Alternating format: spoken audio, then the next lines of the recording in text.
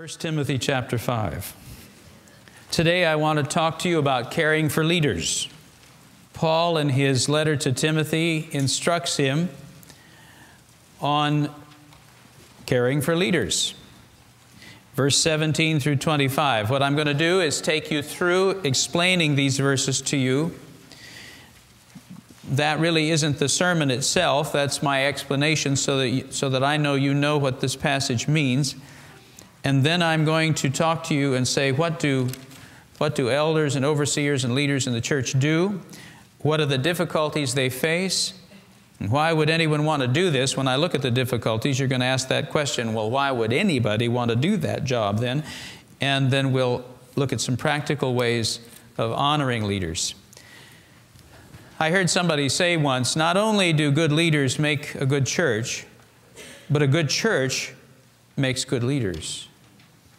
We often think of the responsibility that leaders and ministers at every level have to the people they serve.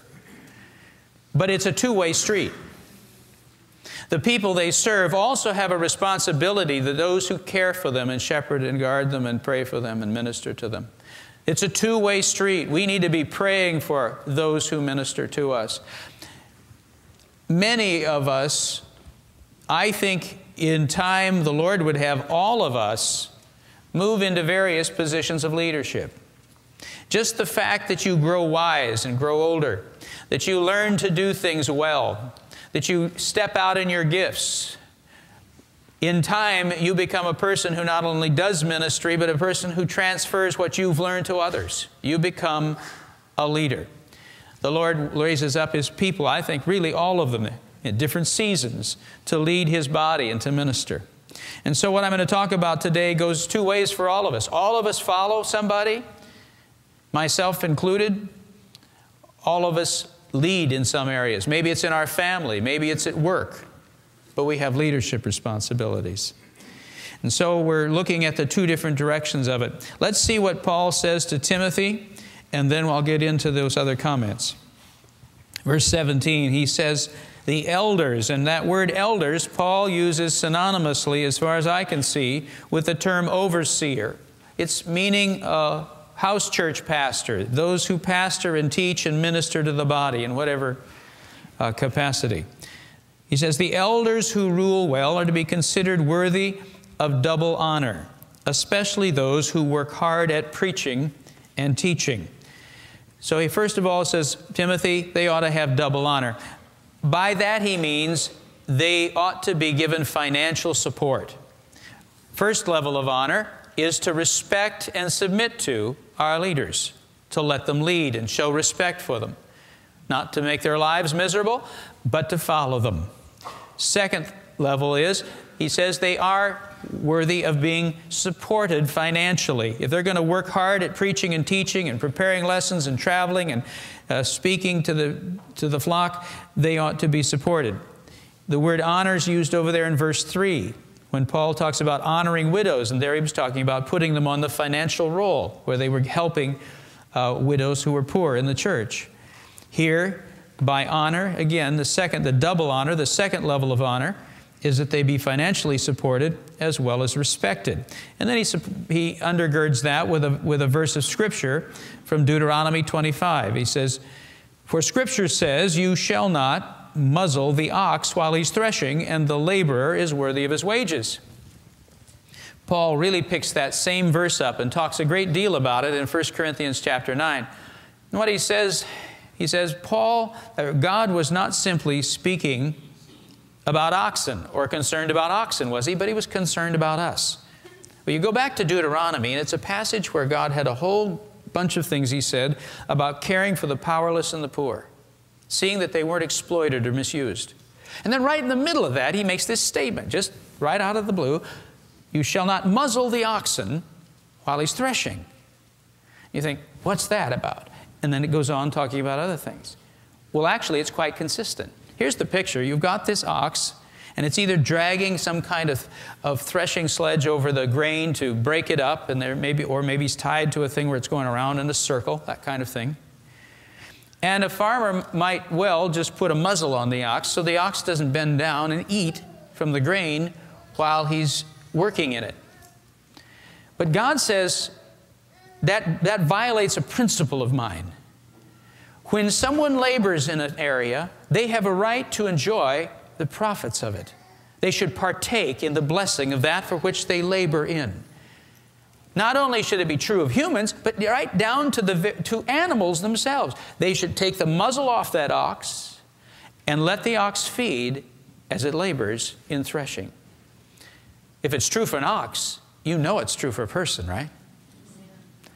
That'd be something if any of you are in business or you're in various things. This is the kind of principle that you say, now, how does that play out? How does that kind of thing play out in my business life or in my family?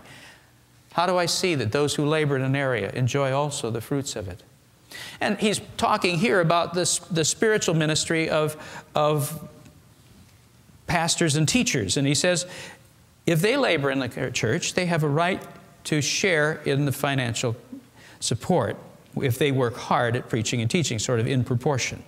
All right, next he says, verse 19, do not receive an accusation against an elder except on the basis of two or three witnesses. Here he's worried, concerned about protecting against false accusation.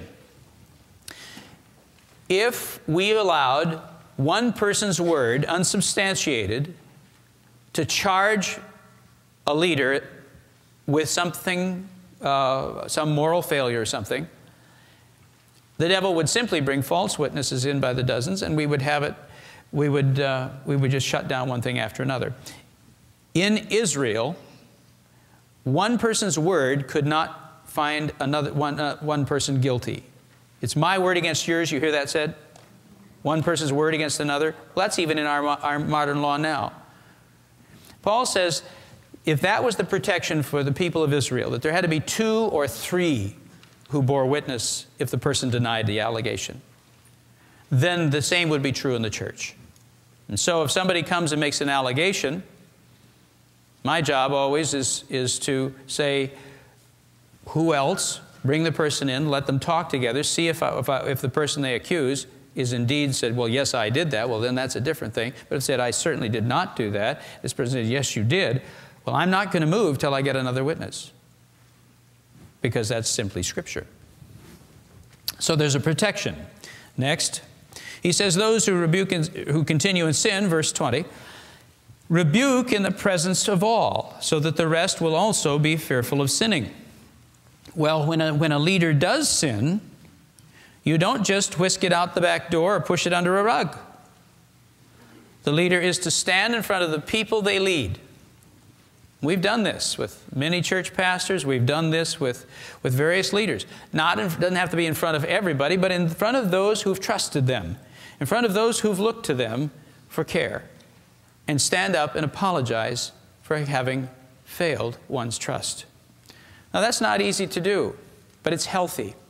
And Paul says it puts a fear of sinning in the church. What it does is say, Oh, I see. The rules go for you just as well as they do for me. And people, they do. They do. In fact, the next point Paul will make has to do with that. He says, I solemnly, boy, and he makes it strongly. Look at this 21. I solemnly charge you in the presence of God and of Christ Jesus and of his cho chosen angels. How would he say it any stronger?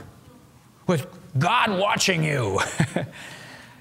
to maintain these things without bias, doing nothing in a spirit of partiality, neither with favor nor prejudice when you deal with a leader, you be totally honest. Fair's fair, right's right, wrong's wrong. There aren't two different sets of rules.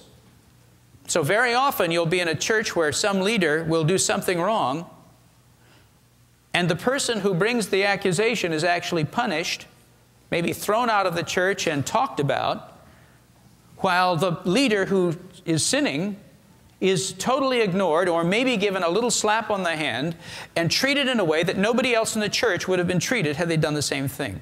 I do not want to see hands, but I know some of you have been through those episodes. It's degrading and it's shameful. It's specifically spoken against here. A leader is to be treated with the same justice and the same discipline that anyone else is to be treated with. And Paul says, I charge you in the presence of God and Christ and His chosen angels. Timothy, you do absolutely fairly. You know, when somebody's a leader and somebody's made a big impact, or maybe the whole church is gathered or, you know, around somebody's leadership and they fail, the fear goes into everybody. If we discipline that person, the whole church will come apart. And so suddenly they're given a level of, of grace that's really sad. I can think of, I won't mention the person, but I can think of one leader I saw, and he was very famous, you all would know. And when he sinned, his denomination tried to discipline him. And he refused to be submitted to their discipline and defied them and went on. I'll tell you what I thought in my, my head. I said, if that man would submit to the discipline of his denomination humbly, he would probably be out of the ministry for three to five years while they watched him and corrected him and saw that things were in order. But when he came back, he would come back as a hero who had failed, who had humbled himself under the, under, under, to, his, to, his, to the other leaders of the church, allowed them to discipline him, had learned his lesson, and would come back as a champion of those who had failed but now were given a second chance by the mercy of God, and would probably have a ministry bigger than what he had before. That's what I thought. Did he do that? No, he did not. He flaunted everybody. And now, once in a while, you can see this grotesque show as you go on by him on television. And there he is with the anointing gone, trudging on, and it's a tragic display. Paul says, discipline leaders. Now, that doesn't mean trash them. It means discipline them like everybody else, which means set them out of their authority. Apologize to the congregation, remove them when they violated a major thing and then restore and pray like you would anybody else. Isn't it healthy? What happens to us when we see that happen? We all go, Ooh, I'm not doing that. Don't we? Ooh, ooh, not going to do that. And it puts a healthy fear in us of sinning. That's exactly what he says. It helps us all walk the line when we see that happen. Then, verse 22 do not lay hands upon anyone too hastily thereby and thereby share the responsibility for the sins of others. Keep yourself free from sin. Selection, Timothy, go slow. Selection must be done slowly and carefully. Don't ever lay hands suddenly on someone. He says, Timothy, do not lay hands hastily, quickly, and thereby share the sin that some do. Isn't that an interesting thought? if we do not test someone carefully and put them into leadership, lay hands on them and put them into some kind of leadership position, but have not tested their character, when they go out and teach either false doctrine or morally shame the church or hurt people, God judges us who laid hands on him or her for their sin and said, You sent that wolf into my, my flock, and I will judge you for the damage the wolf does. Ooh. Now, I wish I could say I never saw this happen, but I have done this or tried to do it where I can think, and I, I, will just be real generic, but I have had situations where I've had somebody, and I confess this, this is the most punishment I think God has ever done to me. I'm generally a pretty good guy. In, in that I don't deliberately defy him. Oh, I sin my own sins, but they're nice sins. I'm, I'm smooth about it, you know? I don't just take him on. But in this case, oh boy, I took someone who was not ready and who was causing me difficulty and said, So why don't we have you pastor a church? I'm ashamed to admit it. Now, I honestly didn't know that I, I didn't know the depth of, of the immaturity. The Lord just punished me, and He didn't let up when I said, I'm sorry, or I'll never do it again. He didn't let up. He let that one sting and burn all the way through the cycle. And I'll tell you the lesson I learned. He said, Don't you ever put anybody you don't fully trust over my bride. I've heard some people say, well, we're going to put them in a small church, and then if they do damage, they'll only hurt a few. I have heard that a bunch of times. I'm not making that up.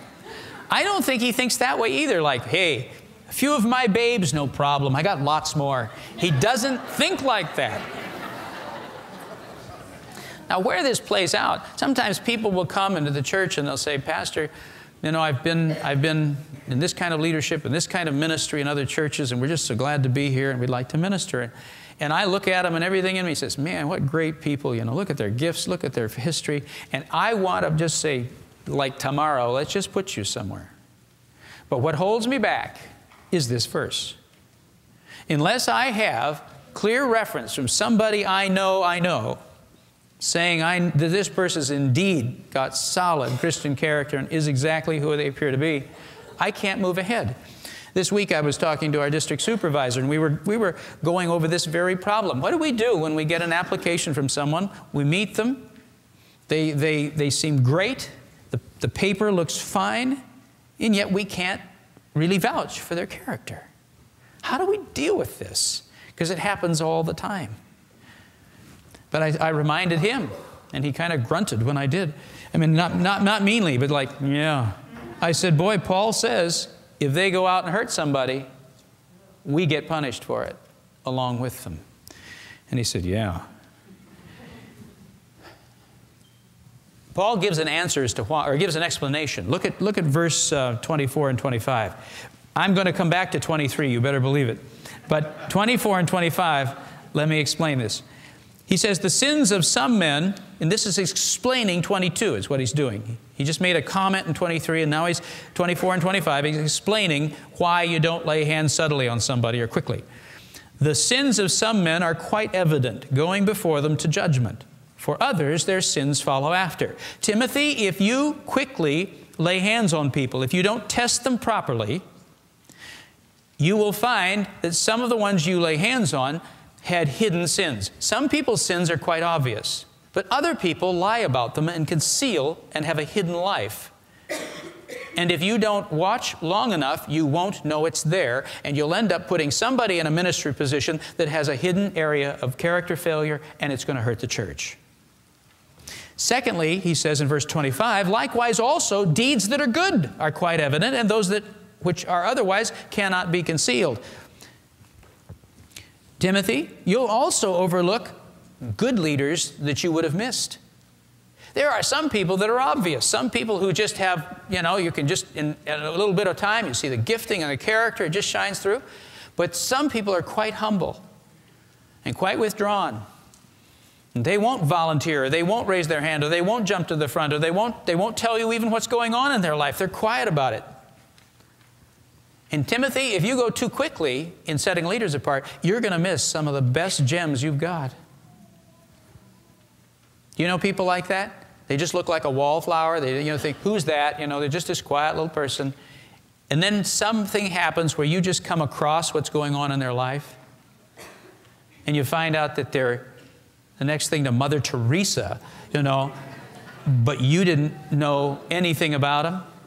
I just had one of those events this past week at the marriage retreat. I was talking to one family, uh, you know, and, and uh, one person that I, I just assumed was just suffering, and, and, find out this person's going down to the cancer hospital and, and, and with uh, caring for uh, parents whose children are dying of cancer every week, and who is, who is uh, pray, has a prayer list of 10 children they're holding up consistently before the Lord and just ministering constantly. I had no idea. I was flabbergasted and blessed enormously. I didn't know that. You see, if you go quick, if you don't wait, I'll tell one story and I move on. In Arizona, when we planted a church there, Foursquare does not require you to have a formal business council our council is, uh, is, is, a, is a, an elected officers who are responsible for the financial responsibility, you know, honesty of the church and, and that kind of thing. They don't spiritually lead the church. We don't have a, we don't have a board of elders like, like, a, like a Baptist church might, but we have a business council. But you don't have to have one of those for a few years when you plant a church until it's, until it's mature. But after a, my first year, I thought, boy, I'm tired. I would love to have a council help me, you know, and help me carry all this. So I thought, well, if I were going to pick one, And early on, I just get to pick. I don't do that now. But I, I said, I'd pick him and her and him and her, and that's who I'd have. But I had the good sense, I felt the caution of the Lord saying, No, don't do it. and this verse was in my mind lay hands suddenly on no man. All right, all right, all right. So I didn't. A year later, I decided, I decided to assess my dream team and see a year later how would we do. Well, one had been set, was separated from his wife. One was riddled with uh, venereal disease. Uh, another, anyway, all of them, everyone. So some people say, well, can't you use your discernment? Apparently not. I know, I know some people really pride themselves, you know, I could just read a person. I used to feel that way too. But I'll tell you, my history is I'm a humbled man. I know there's people that are absolute gems that I'll overlook, and there's people that are absolute wolves that I'm likely to put over, you know, some ministry if I move quickly. So it's one of the reasons I'm cautious. And what I generally say is, would you be a mini church pastor? Would you please get into something where we can watch you? I virtually don't trust anybody. Not, but not because my heart doesn't, but because I realize I can be fooled and there's a deep principle here. By the way, you should, you should choose a church the same way. This is not only selecting leaders, but if I were selecting a church, I would be cautious. And I would go carefully and slowly until my heart really told me and I saw the Lord's hand in that situation. And I, and I believe people, by and large, do that. And one of the ways they, it's kind of neat. People come and they'll often be here for a couple years. And then I'll get this little note. And it'll say, Dear Pastor, just want to thank you for, for all the Lord ministers through you to me and tell you what a, what a difference it's made in my life. Now, what those notes are saying really is, You're my pastor now. I trust you. I know what it's saying. And it's, it's kind of it's, it's, not, it's, it's like it's kind of like falling in love. It's, it's something you can't you can't dictate. You can't set a date on it. You can't do anything else. It's just a matter of when somebody says, I, I think I trust you. I think I trust you. But that's what ought to happen when in, in, you don't just submit to somebody any more than, I, than we put leaders over people. I wouldn't receive, I wouldn't submit to somebody till my heart was trusting. All right, um, I'm, oh, I, I'm not going to miss 23. Now, I know people that can, cannot quote John 3:16, but they can quote this verse. this is one of the most widely quoted verses in the Bible. So it'd be fun to know what it means, wouldn't it? Now, doesn't it look like it's totally out of context? I mean, he just throws this thing about liquor in the middle of his comments and moves on. It is not out of context. Let's explain. He has just said, Timothy, be careful in setting leaders in, or you'll share their responsibility. Then he says, keep yourself pure, literally, free from sin. No longer drink water only, but use a little wine for the sake of your stomach and your frequent ailments. We've learned a couple of things by what he said there. One is probably one of the failings of the leaders in the church in Ephesus was drunkenness. So, Timothy, in order to avoid any semblance of evil, in order to make sure that there, nobody can accuse him of misuse of alcohol, has gone to water only in his drink, in, in, in drinking. He will not even take it. But the water supply in Ephesus clearly is contaminated. So, what in, in, in cultures where there is bad water, and I've been in places like this and I've seen this done. Cultures where there's bad water, you take wine and you mix it into the water. One part wine to three parts water. Now, that is not some scintillating beverage. What it does is you pour the alcohol in there and it kills the little stuff that's crawling around. So you drink it dead, not alive. I have. I've seen water with just scum on the bottom, boy, you know, and you sit there oh man, you know. Timothy was being so careful that he wouldn't even do that. He wouldn't mix the wine into his water, lest anyone accused him of drunkenness, because probably they were having to set pastors and leaders out of that church for that very cause of drunkenness. Paul, in the middle of this, says, Timothy, keep yourself pure. And he thinks, and boy, is he keeping himself pure. A little too pure, Timothy. You better put some wine in your water you, because I, you mustn't be, keep getting sick and having stomach disorders and all that's coming with that. That is not a license to go get schnockered, is it? Let me just say, I want to make a good, clear point here. Christians aren't drinking people. Now, this is not a verse that gives you permission to be a drinker. This is a very specific medicinal issue in which Paul is taking care of his young, young leader. And it is not a license for you to be a drinker. Can you drink a glass of wine privately in your dinner time? Yes, you can. But you have no business in a bar. And we've just had some disgraceful things with, we've had some people who are doing LTGs, going to a bar, and not as a witness, but drinking and placing bets and stuff like that. And then when confronted, say, well, we're out of here. You're legalistic. Call me what you want, sweetheart. You're playing games. If Jesus doesn't change your sex life, if Jesus doesn't change your finances, if Jesus doesn't change your use of alcohol and addictive materials, if Jesus doesn't change your mouth, you're not a Christian. I'm not talking about perfection, but He comes and He changes your life. And if you're not ready for a change, then, then when you are, let us know. When you're ready to be a Christian, let us know. But you can't have it both ways. And one of the reasons the American church is so unprophetic is we are so like everybody else. That's enough prophetic for me. Let's go on. Yes.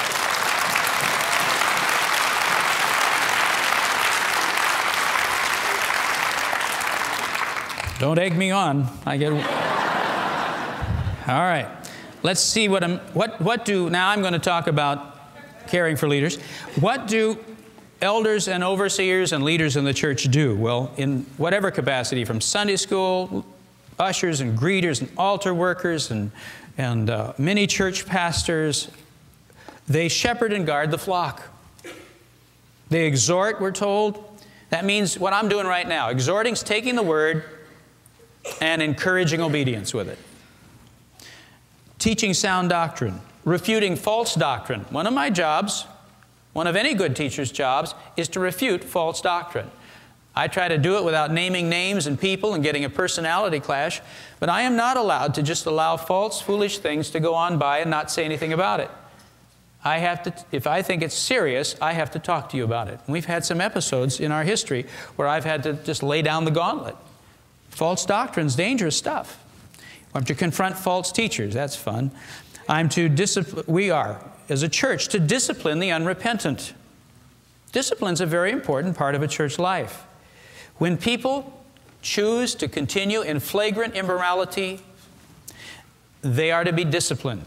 Called in and said, Stop it. If you don't, why? Because if you continue in this pattern, you will not go to heaven. That's why. You cannot, Paul gives a list, 1 Corinthians 6, verse 9 and 10. You can't do these things and go to heaven, he says. Inherit the kingdom of God means be part of the resurrection. I call that going to heaven, wouldn't you? So he says, You're not going to go to heaven if you continue to practice these things. Therefore, the church has a responsibility when somebody is trying to play a game, they're trying to be a Christian and live like the devil, to call them in and say, This needs to stop. We love you, but you aren't stopping this. And so we're going to set you outside the community of the saved so that you know the condition of your spiritual life. We want you to repent and we want you to come back, and we will be the happiest group in town to see you again. See, this is not getting rid of rubbish kind of thing. You don't that's a lousy attitude. We love you, but you're out of here. But when you want to repent, would you please come back? Because we want you back. We want you back. In fact, we're going to be praying until we see you again. That's the attitude. And almost always, when that's done properly, someone will sooner or later come back and they'll say this words Thank you for loving me enough. I've heard it dozens of times. Thank you for loving me enough to do what you did. And we always say, Thank you for coming back. Model Christian character, continue to pray for the church, pursue strays. I pursued a stray last week. One day I look around, I say, Where is that person? I find out they're upset. So I had him come in and I said, So what's this about? And we talked. And we, we, we communicated, and I, I think I got my stray back. All right. What are the difficulties if a church has the responsibility to nurture their leaders, just as the leaders have a responsibility to nurture the church? Why? Why should we be praying for our leaders? Why should we be caring for them? Why is this important? Well, let me tell you some of the pressures that people who minister, any level, not just me, but any level, they face. First of all, they have the normal personal and family pressures. They got, they got the same stuff with health and weariness, spouses, children, personal disappointments that anybody else goes through, and yet now they have to care for others and give and serve and pray and encourage when their own hearts are sometimes weary and breaking. Secondly, they have a concern for the church. You can't pastor people and not love them ultimately and be hurt when they struggle.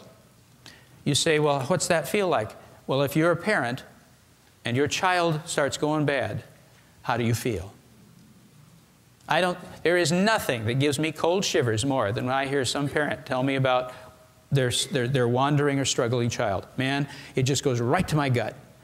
I'm a, I'm a father, and I have felt this so deeply, and uh, there's nothing more. And a pastor has the same kind of thing, where someone Someone wanders away. You say, Well, you're not supposed to worry. It's a sin. Well, nah. you. I just want you to see for a second that if I sin, then I'm not alone. 1 Corinthians chapter 12. I mean, uh, chap- 2 Corinthians chapter 11. 2 Corinthians 11.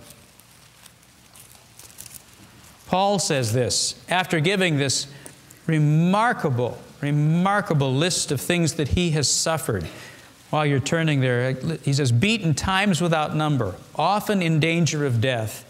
Five times, he says, I received from the Jews, that means from the religious leaders, 39 lashes.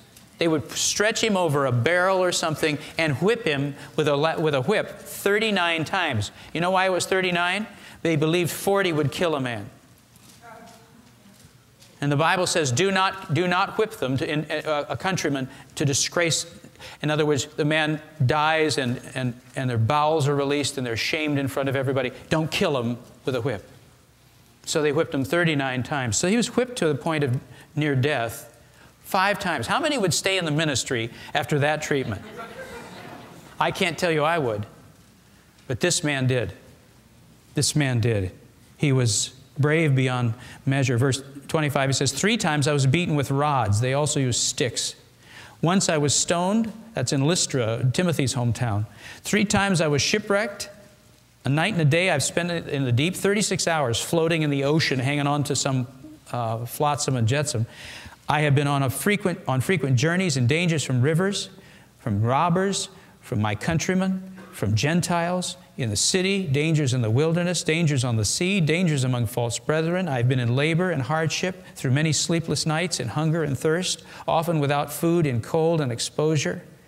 And apart from such external things, there is the daily pressure on me of concern for all the churches. He says, I'm suffering and worrying and praying for the churches all the time. And he gave him cause for suffering, may I add who is weak, who is weak without my being weak? Who's led into sin without my intense concern? Paul says, Not only am I beaten, but my heart aches for the people I pastor. Demonic oppression. When you minister, the devil tries to wear you down. It's really something you need to know. And that's one of the crucial reasons we've got to pray for each other. That if, if we're going to become a church that raises up leaders, and I'm going to get to that, but I think that's what the Lord wants. I think He wants many of you. I know my assignment here. My job is to raise up disciples. And I believe the Lord wants to raise leaders for His church widely, not just for here. So many of you are supposed to rise up. And if that's going to happen, we've got to pray for you. And we've got to encourage you and, and, and stand with you. We've got to help one another. This isn't about me. Sure, I'll be happy to be treated nicely, but this is about each other. This is about what God wants to do. And anyone who steps out in ministry, there is a demonic oppression. I deal with it every week, almost without exception. Before uh, Saturdays are miserable for me. I'm praying, I'm working it through. I feel I won't go through all my stuff, but I have my own pressures every week. And I just have to hang on to God and say, I thank you, Lord Jesus, you'll be with us. That's, that's my battle. Well, it's yours too if you minister. Isn't it? So, what do we do for each other? Pray. And if the church doesn't learn to pray for its leaders, the leaders can't lead. The ministries can't arise. Our missionaries can't go out. We must care for those who care for us and minister on our behalf, every bit as much as we expect them to be caring for us. There is a constant struggle for private time and rest. There is scrutiny and criticism, the pastors and their family. It really, it really is frustrating when the family takes the, the hit of this. There is obligation to love and serve people who leave you if you offend them. You know the rules go this way? I have to love you, but you can be rude to me. It is, that's the rules. And I can't ever not like you. I got to forgive you and pray for you and love you no matter what you do. But lots of people just turn on their heel and walk out. But I still have to love you. I don't have any permission to go, yeah, you know, when you, when you leave. I, or at least I have to repent when I do. I do. I can't hold bitterness. And so, frankly, to this day, I've had people that I have to forgive over and over again for five years. When I, when I have to come to that thing in the Lord's Prayer, there's certain names just keep popping up. Lord, I forgive that person, bless them. I just pray your Holy Spirit's moving powerfully in their life because it still hurts. Fear of public speaking. A new sermon every week. Can you imagine? Being socially ostracized by society, treated strangely and avoided and criticized. Do you know what it is to go into a neighborhood and folks come up and go, Hi, howdy, folks. And what do you do? I'm a pastor. Okay. I mean, their countenance falls generally. It's like, ooh, icky. I've had people, I've had people at night sit outside at my house, not here, and chant. Preaches a sermon, preacher. Amen. Hallelujah. Guys, stand, several people out front going at it. This is not an easy thing to do. Now, compared to Paul, I got nothing. Often in poverty or bivocational and exhausted. Listen to me. For every famous televangelist who falls, and everybody uh, who has a jet and has a Rolls Royce, Rolex watches, and Gucci loafers, for every one of those, there are 10,000 men and women that are ministering in virtual poverty working bivocational 40 hours a week, exhausted, trying to raise a family, trying to come up with a sermon on Saturday afternoon when they're, when they're, when they're beat, show up Sunday, give all they got, move into some rented facility, move it out again, go home, and start on Monday morning at work again. And it is, it is grotesque to accuse all the pastors and ministers and say, well, you're all a bunch of con people, you're all frauds, all you do is play golf all week and show up on the weekends. That is ridiculous. Most of the ministers, I mean, like 10,000 to 1, are poor and serving Jesus. And many of them have the talents and the gifts and the abilities to have succeeded greatly in life and could be richer than you but are doing this because they love Jesus Christ.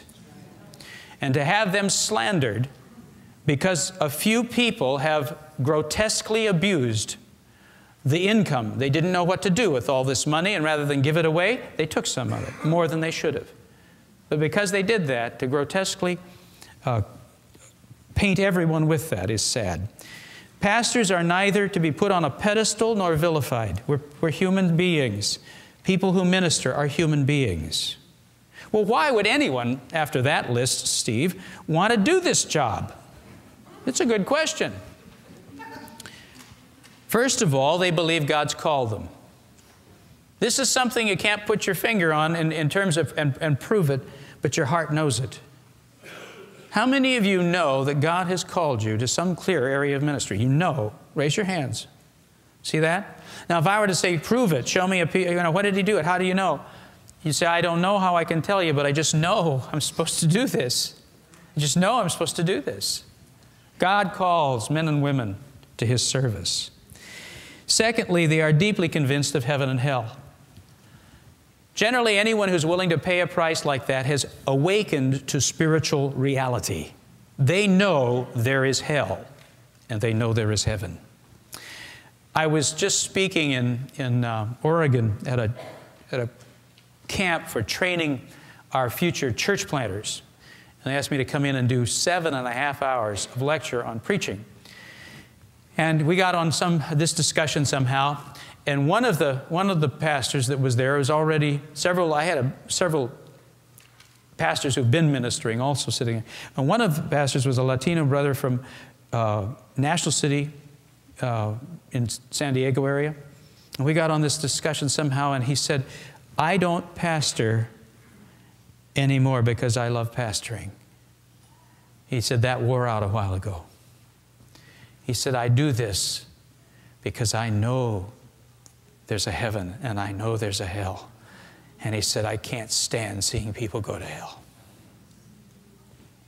Man, you know, we're all just sucking air. This was a heart, real heartfelt thing came out of it. I'll tell you, there's so many men and women. That's why they're doing it.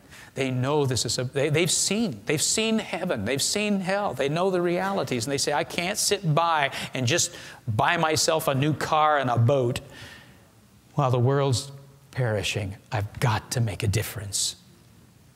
And they are. They feel God's love for His people. I don't, can't say I just love people, but I can tell you this I can feel His love for you and for me too. And the more I feel His love, the more I tend to love too. But it's hard to separate. God loves us.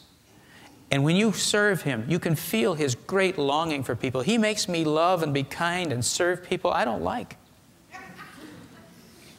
or hurt me and make me mad. In the natural, I'd react a totally different way. But I can feel His love for you, and I just, He, will not, he will not let me follow my temper. He will not let me follow my own pride. He says, You love them, they're mine. You know that feeling? That's what motivates people that minister. They love the feeling God's pleasure when they serve. The Holy Spirit's anointing is nothing sweeter than sensing God's pleasure when you minister. When you've served the Lord, not just doesn't have to do with just preaching, but when you've stepped out and done what you're told, and you feel the anointing and you see the fruit, isn't that, isn't that beautiful? I mean, doesn't that make you just think like, oh man, that's what life's about, people. That's what life's about, and that's what motivates people who minister. Well, and how, what are some of the ways we can honor leaders? First of all, pray for them. And this is not a platitude. We must pray. You get your lists out. You get your Lord's Prayer brochure, and can you start praying for, for the leaders. And, and I'll, I'll, be happy to receive prayer, but you include all the men and women. You include the people, the, the Sunday school teachers that are teaching your children, and the, and the youth workers that are ministering to your youth. You pray for them. You pray for our women's ministries. You pray for our nursery workers. You pray for everybody. You pray for the missionaries we've got. You pray for people that you know are ministering. Hold them up in prayer. Make it a discipline. Don't just do it when you feel it. Secondly, tell them when God ministers well through them. This is different from flattery. Flattery is when you come up and say, You're just wonderful. You're just so marvelous. You know, when you come up to somebody and say that to them, they're, they're given this choice either believing you and sinning, or just turning it off altogether. And so it doesn't do any good. It doesn't help because if I receive it, I'm sinning. If I don't receive it, it it's like you're just an annoyance. It would have been better if you hadn't. Here's how you can encourage a leader tell them what God is doing in your life. And if they had a part in it, you can say, Well, the Lord really ministered through you. I really received. But focus and boast on God. Because I'll tell you why people are ministering. It isn't an ego trip. I mean, sure, there's a few people like that, but we know who they are. You can spot them. But most by far the majority of men and women who minister minister because they long to see God touch people. And when, they, when somebody comes up and says, God just ministered so strongly, I am, uh, He's just blessed me so much, that person inside is going, Oh, yeah. And they just want to do it more and more because they want to see God touch people. So tell them what God's done for you. Boast on God, and it will encourage them no end. Number three, Cooperate unless your conscience is violated.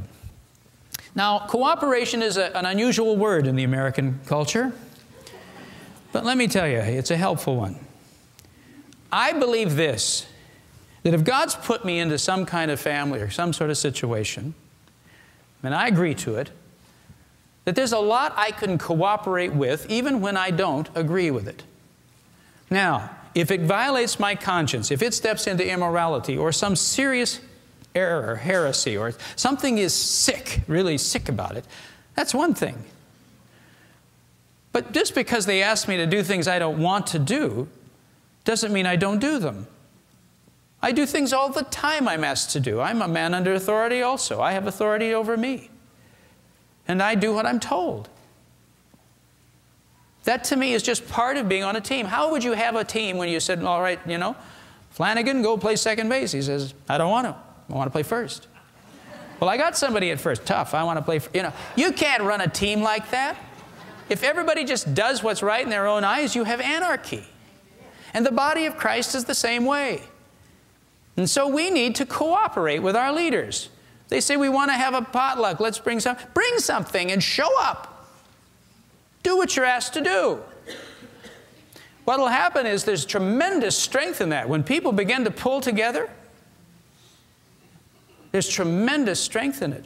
I have been just, I've had people where I ask them maybe to, to dress a certain way on the platform. Just, just a simple way. I'm, you know, we're not wearing full length suits and stuff, but just dress a certain way. They just turn and walk on me and say, I'm a control freak.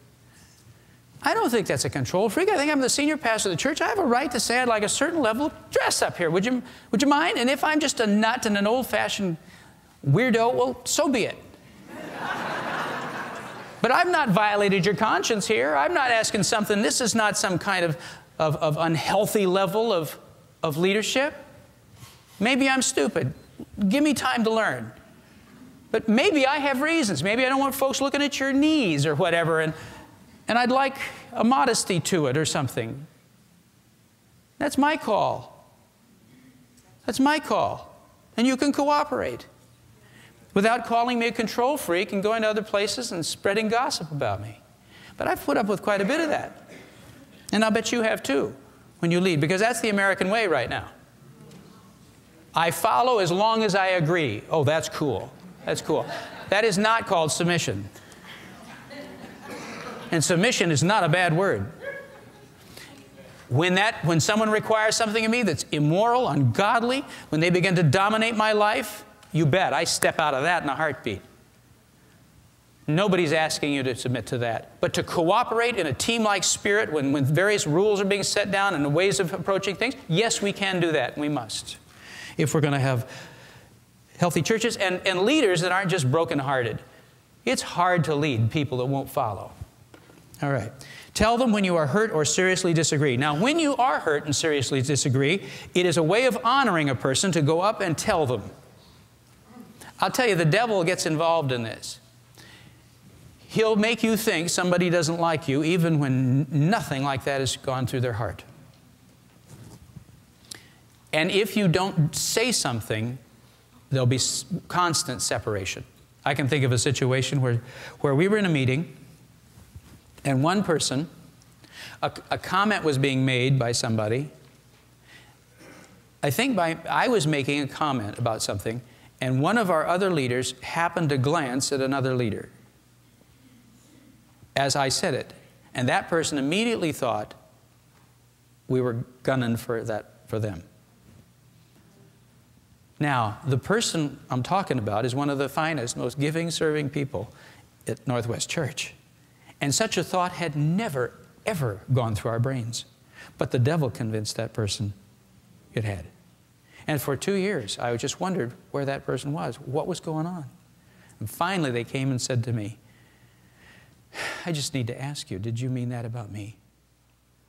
And I thought, I, I to laugh, is what I wanted to do. I want to go, You're kidding. Why would I think that about you? But they did. And for years, they were hurting over that. People, the devil will see to it that those sort of things come along. And one of the ways we honor our leaders is by going and saying, This thing hurt me. I don't know if you meant it, but I need you to tell me this is what I heard. If they say, Yeah, I meant it, and I was hoping that you'd get it, well, fair enough. But very often you'll find it is a miscommunication or just needed to be talked out. Fifthly, don't speak badly about them behind their backs. If you have something to say, you really do need to talk about them. And you know if you don't talk to their face, you'll talk behind their back. It's automatic. So it simply means you have to go talk to the person. That takes a level of courage, doesn't it?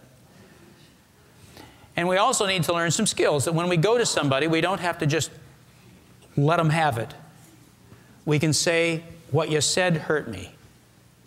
We need to learn some communication skills, just like we do for our marriages. And say, What you said hurt me, or this upsets me. What can we do about it? And then you try to work it out together. That'll make some real strength. If you persistently resent the pastor, leave graciously. I have a family member, not in this state, so it has nothing to do with this church. And that person is very unhappy with their church. And they've tended there for years. And then when we visit and all, we hear about the frustrations of the pastor. And finally, I said to this family member, I said, I really think you should leave that church. I said, What's happening is you're modeling for your children to complain about the pastor.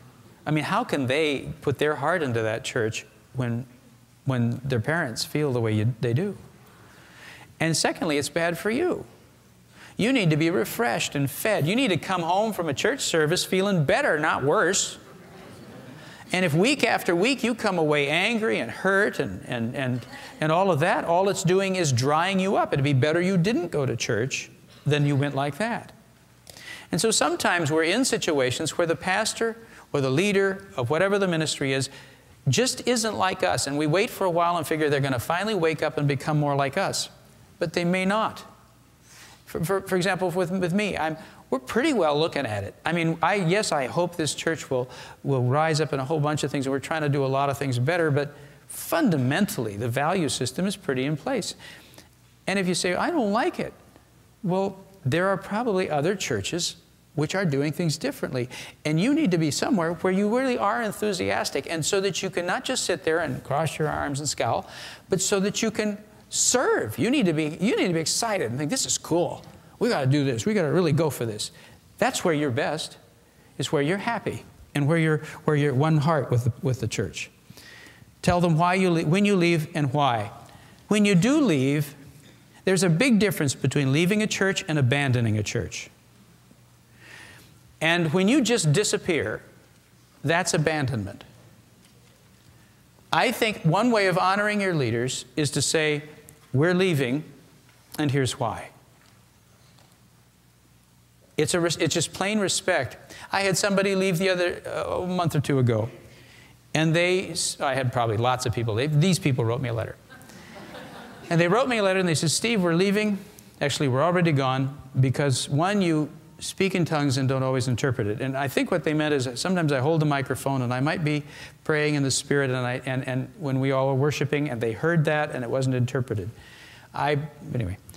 Secondly, you have women in leadership. I said, Well, why don't you come in and talk to me? They said, No, we're already gone. Now, I want you to know I appreciate their writing me that letter. I, allows me to think, understand why they left Allows me to think through what we're doing, saying, Lord, is this, you know, is there some things I should adjust here? And, and lets me know where they are. That's a respectful thing to do. No, I'm sorry they left. But I appreciate being told. You'd be surprised when you just disappear on somebody, they notice.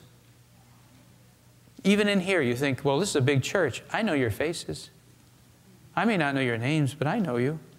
And I take, I, I, I watch. I'm not taking roll, but I, I, there's a sense. I don't know how to say it. It's a pastoral thing. I know who's here, and I'll find, where is that person? And it's really sad to go running around and saying, where is that person? Are, are they ill? Would, would, somebody find out what's happened to him? Because I haven't seen him in a, about a month now, and I think something's maybe wrong.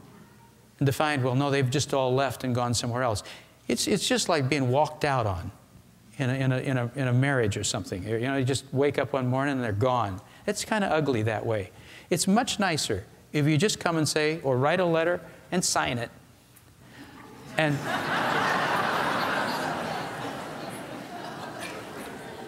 unsigned letters are kind of nasty. I mean, it's a little, it's abusive, is what it is. It really is abusive. If you don't have the courage to sign your name, don't say it. But to, to write mean things and then not sign it is like throwing a rock through somebody's window or something. It's just cowardly. And it doesn't allow for any dialogue. Honoring one another, honoring our leaders, caring for our leaders involves these kinds of things. It's a very practical thing. All right, what's the point of all this?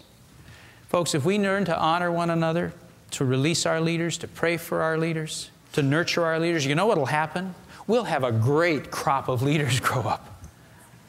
We're going to have men and women released in their ministries that never would have been released in a critical or a harsh environment or a, or a prayerless environment. They never would have. The devil would have just beaten them down and they never got to first base. But when a church that prays and a church that loves them and a church that stands with one another, we're going to have men and women rise into their ministries at levels we never believed possible. This isn't about me, this is about us. You understand?